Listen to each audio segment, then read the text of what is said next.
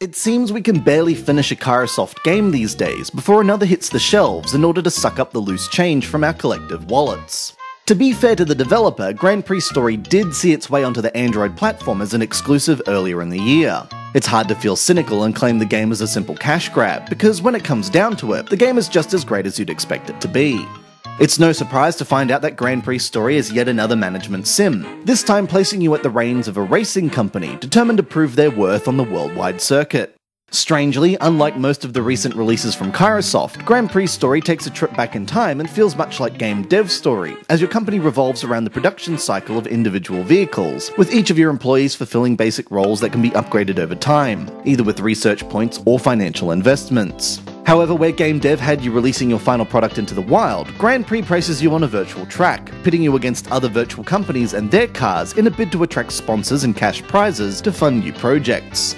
Cash can also be earned by putting your various drivers to work outside your company or by employing special characters with lower stats that inject funds into your project. As such, there's a much lower chance of becoming bankrupt, allowing you to focus on patching the holes in any cash flow problems before ruining your game permanently. Grand Prix Story is presented in its typical cartoonish pixel art style, and while watching the simulated races can be tedious, there are moments when you'll hang on every pixel your car gains on another car in the hopes you'll make a pass on the final corner. Ultimately, Grand Prix Story is essentially game dev story for those with a penchant for vehicles. That isn't to say casual gamers without a deep knowledge of racing can't get a kick out of it, but it certainly helps. This has been Andrew with AppSpy.com. We review, you decide.